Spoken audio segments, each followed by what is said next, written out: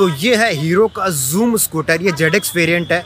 L X variant आता है और एक वी एक्स वेरियंट आता है। ये जो जेड एक्स वेरियंट है, इसके अंदर कौन से आपको सेगमेंट फ़र्स्ट फीचर्स आते हैं, उन सब चीज़ों की अपन यहाँ पे बात करने वाले हैं। सबसे पहले आपको यहाँ पे कॉर्नरिंग लाइट है, वो दिख जाती है। तो जैसे आप स्कूटर जैसे जैसे लीन करोगे, उस हिसाब से ये लाइट वगैरह आपको जल जाएगी, जो कि रात के टाइम पे आपकी विजिबिलिटी है, वो काफ़ी ज़्यादा इंप्रूव कर देता है। अब इस इंजन के बारे में खास बात यह है कि हीरो क्लेम करता है कि ये सबसे फास्टेस्ट ज़ीरो टू सिक्सटी वाला स्कूटर है वन टेन के हिसाब से, जो कि नाइन पॉइंट थ्री सेकेंड के अंदर ज़ीरो टू सिक्सटी है, वो कवर कर लेता है। लगभग एट बी की पावर और एट पॉइंट फाइव का टोर का ये प्रोड्यूस कर देता है। अगली बात ये है कि भैया इसके अंदर आपको हंड्रेड सेक्शन का रियर टायर आ जाता है, जिसके कारण इसकी स्टेबिलिटी और ब्रेकिंग है वो काफ़ी ज़्यादा इंप्रूव हो जाती है। और साथ ही पीछे भी आपको यहाँ पे डायमंड कट अलोई व्हील्स है, वो आपको आ जाते हैं।